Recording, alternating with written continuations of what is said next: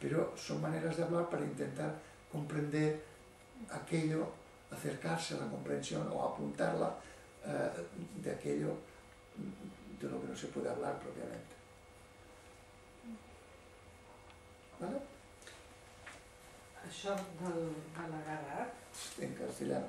ai, perdona, el su, su misericordia tarda en asir, esto sería lo que se, se denomina gracia, la gracia, o sea, el, Sí. el asir es la gracia. Sí. ¿Puedes comentar el final que dice, el malcarado infiel dice, oh rey, que creaste lo feo, tú puedes crear lo bello, además de lo despreciable. O sea, parece como que el infiel le hace una un reclamo, ¿no? Le No. reclama. Espera, espera, termino y, y, el, y en cambio el, el creyente le dice, oh rey de la belleza y la hermosura, me has hecho libre de defectos. Es que aquí está diciendo, el, el, el malcarado infiel, con su ser malcarado e infiel, está diciendo, tú lo mismo que creas la, la fealdad, puedes crear la belleza. No que él se lo diga a Dios, sino que él lo está proclamando. ¿Entiendes qué quiero decir? Y, y entonces en esta línea, el que hace el creyente, Lo- lo- el creyente lo que hace es, con su fidelidad, dice, eh, lo que está diciendo, tú haces también lo bello, tú haces lo bello. O sea que uno con su comportamiento eh, manifiesta, y lo pone como si lo dijera, si lo, si lo dijera Dios, manifiesta una dimensión de su manifestación en el mal y otro en el bien, en la belleza y en la fealdad. Pero Así es como viene y, un- y así es como viene y todo lo que viene lo dice y lo feo lo dice de una manera y lo guapo de otra, lo ignorante de una manera y lo sabio de otra, pero siempre se está diciendo lo mismo. Para quien reconoce, para quien no vive en el sueño, para quien vive en el sueño, pues hay feos y guapos y, y buenos y malos. Por eso, por eso tú antes lo has empezado a decir al principio que hay que aceptar las cosas tal como vienen, ¿no? Y lo decías en el libro de, de, de no sé qué de los límites, ¿cómo se llama? Más allá de los límites. Más allá de los límites lo dices muchas veces. Sí. Por esto, ¿no? Por esto Sí, que sí, dices. es que- Porque tú quieres ver a Dios, inmediatamente con estos ojos de carne y grasa, míralo como viene, viene así, lleno de hijos de su madre. Lo que no quiere decir que como, como animal depredador o animal que eres, intentes que las cosas No, no, vayan no, por donde tienen que ir. Esto es otra cosa, esto es otra cosa, pero eh, Mientras no seas tú el actor, que dejes que actúe. y eh, además es que de- si miras las cosas desde esta perspectiva, acabas comprendiendo que todo el mal es ignorancia, y solo ignorancia. Que el mal es ignorancia y miedo. La la ignorancia sale el miedo y de ahí sale la agresividad y salen todos los males. Y, y entonces, si tú ves el trasfondo de ignorancia y de miedo, ignorancia porque se crea alguien, y al crearse alguien está lleno de, está hasta los topes de miedo. Y el que está lleno de miedo ataca. Por tanto, le, le ves la trampa al mal. esto que ha dicho él, lo puedes explicar un poco más, que ha dicho esto es otra cosa. Eso, el yo tengo un poco de conflicto en, en esto, en aceptar lo que viene, pero lo que puedes cambiar, cámbialo, pero ¿dónde, ¿cómo puedes explicarlo un poco más? Esto sí, porque, porque mm, él viene así. Y no hay otro actor que él. Por tanto, si lo hace así es porque quiere. Bueno, porque quiere. Esto es una, también una manera de hablar antropomorfa. Es así, lo que es, lo que es es así y punto, y se acabó. Y tú eres en esto, ¿no? Y ves que este está sufriendo y si tú tienes la posibilidad de arreglarlo, lo arreglas, porque es que tú eres eso y, y- y estás, eres, eres su misericordia, eres tú. Y por tanto lo que esté en tu mano, eh, convertirlo en jardín y no en infierno lo arreglarás. Es... Dicho más, más rudamente,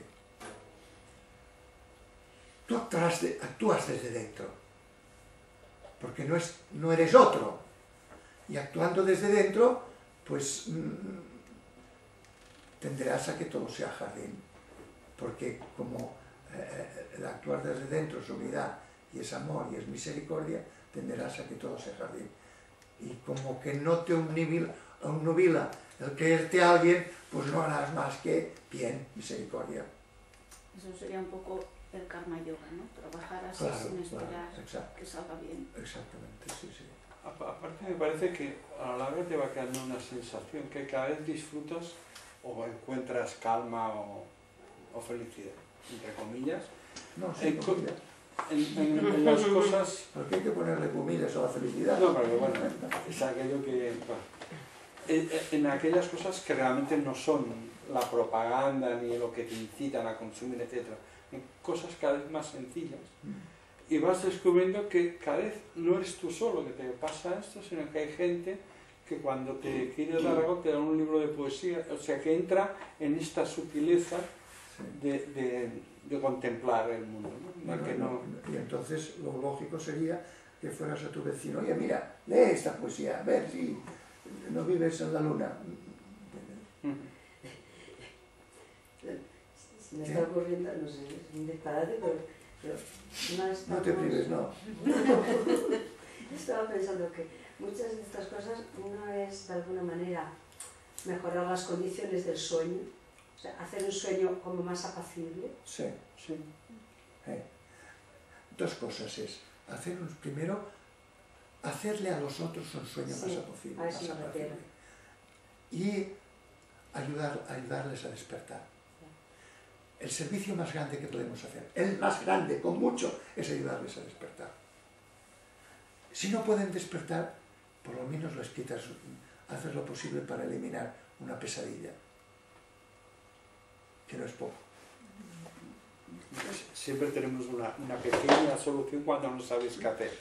Recomendar unos libros como del María Curvi, que va muy bien. No quiero esta idea porque al, al pensarlo, eh, al menos a mí, me crea también como un desapego de aquella acción que, que a veces que hay que hacer, ¿no? Para que la cosa vaya mejor y tal. Entonces de pronto me pensaba, bueno, claro, no deja de ser parte del, del sueño, ¿no? Es que fíjate Y entonces, te ayuda un poco a... Fíjate, entonces, por lo que te decía a ti, te entregas con más, eh, con más radicalidad, sin condiciones, pero tranquilo. Al fin y al cabo es un sueño. claro. O sea, el problema es que no, no- a ti no, no te subleve ni, ni te modifique la actitud de observador, digamos, y, de, y, de- y- y que dejes que actúen las cosas. Esto me recuerda a un chiste, ay perdona, Sí, no, no. un chiste que decía un señor eso que, que todo se lo toma para la tremenda y ver todos los males siempre estaba, Dios mío, pero ¿cómo permites esto? Pero por favor, pero, pero haz algo. Y al final oye una voz que dice, ya lo hice, te hice a ti.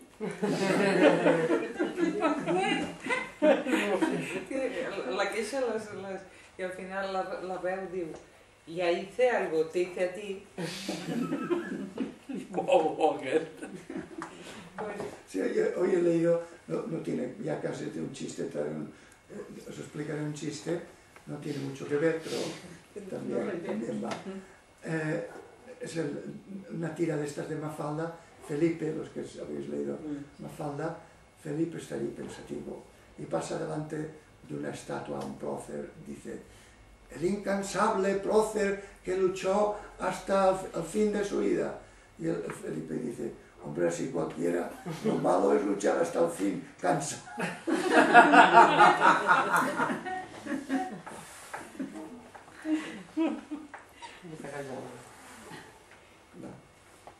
Esto del sueño me ha recordado una cosa del yoga baixista que digo, en el baixista se dice que se confunde la realidad, o sea, una cuerda eh, se interpreta como una serpiente. Y él mismo dice, pero al fin y al cabo nadie es mordido por una cuerda. A nadie le muerde una cuerda. Eh, de cómo el profeta, que Dios le bendiga y le salve, dio instrucciones al enfermo y le enseñó a rezar. Entonces el profeta le dijo al enfermo, ¿No estaba? Aquí. Así, no. A la C92, Sí, ¿no? Ah, no, ya hemos pasado de. Ah, sí.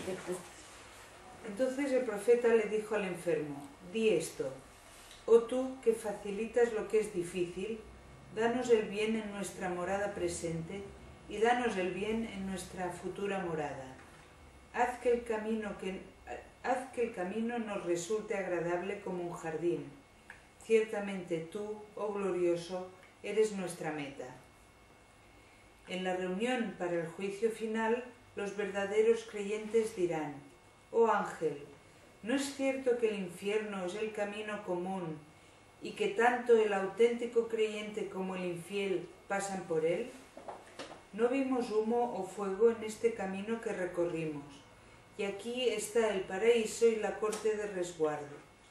¿Dónde pues se hallaba ese vil lugar del trayecto?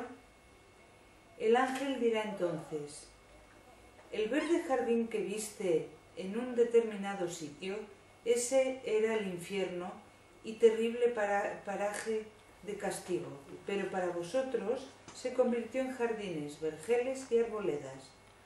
Aunque con esta alma de infernal naturaleza el fogoso malhechor intenta haceros caer en la tentación, os habéis esforzado frecuentemente. Se ha tornado lleno de pureza y habéis apagado su fuego por amor de Dios. Puesto que las llamas de la lujuria que ardían se han convertido en el verdor de la piedad y en la luz de la guía a la verdadera fe, ya que vuestra hoguera de codicia se ha transformado en altruismo y esa envidia que era como espinas se ha vuelto rosas, dado que previamente apagasteis todos esos fuegos vuestros por amor de Dios, y convertisteis en huerto la fogosa alma y arrojasteis en él la semilla de la lealtad, donde los ruiseñores de la conmemoración y la glorificación de Dios cantaban dulcemente en el jardín junto al río. Como habéis respondido a la llamada de Dios y habéis llevado agua al ardiente infierno de vuestra alma, nuestro infierno también se ha tornado para vosotros en verdor, rosas, abundancia y riqueza.